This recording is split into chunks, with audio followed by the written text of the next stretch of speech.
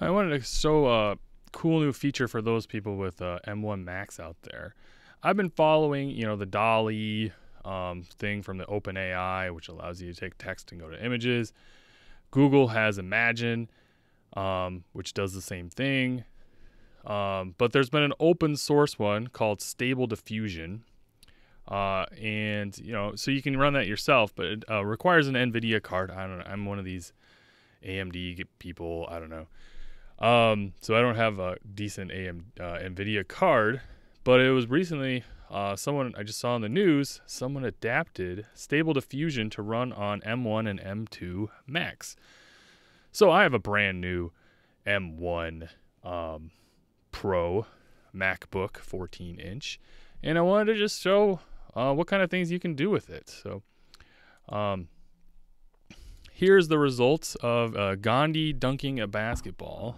So, so I just type in Gandhi dunking a basketball. Uh, I found that the number of the number of steps, the higher the better. The guidance scale, I'm not 100% sure what it does, um, but uh, 7.5 seems to be the default. If you're not interested in seeing the advanced options, the uh, artificial intelligence is trained by 512 by 512 images, so it only makes sense to use the same settings. Now, it can take about 10 uh, to 20 seconds to run on my MacBook. Oh my gosh, it's running a little bit slower, probably because of the share screen going on. I don't have a nice uh, recording setup on my Mac, so here we are waiting. Do do do do do do do.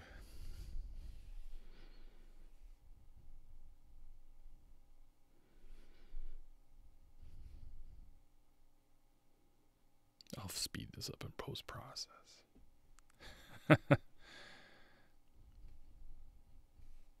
but it required no no setup at all besides downloading the app and uh, and running it. At least for me. So it does you know have certain criteria. All right, here we go. Let's hope it's a good one. So I don't recommend uh, doing share screen at the same time. Oh, that's uh, it's like a Shaquille O'Neal Gandhi. Um, you know, you could have a, a bear eating from a jar of honey. You know, I don't know what kind of, oh, not honey. Um, it's uh, I found it's very important to be literal. You know, if you, uh, I did like uh, banana fingers or something like that, and it had like a banana in fingers, not like banana uh, fingers made from bananas.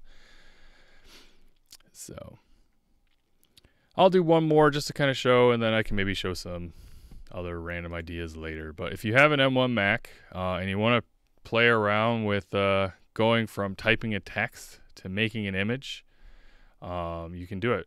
My my son had me make a cucumber uh, man sitting in a wheelchair last night. It had a lot of trouble rendering the wheelchair. Um, again, it's uh, whatever images it's been trained on, it's able to kind of recreate. So, um, I was looking into the the data set it was using earlier, but I, um, which I've heard is fairly large, but it's probably not fully complete. So, all right, what do you think we're gonna get? You just never know what comes out the other side. Hmm. Eh, it's it's decent. Eh. I'm not quite sure where the bear's arms are, um, but you know you can generate it again and get a different one.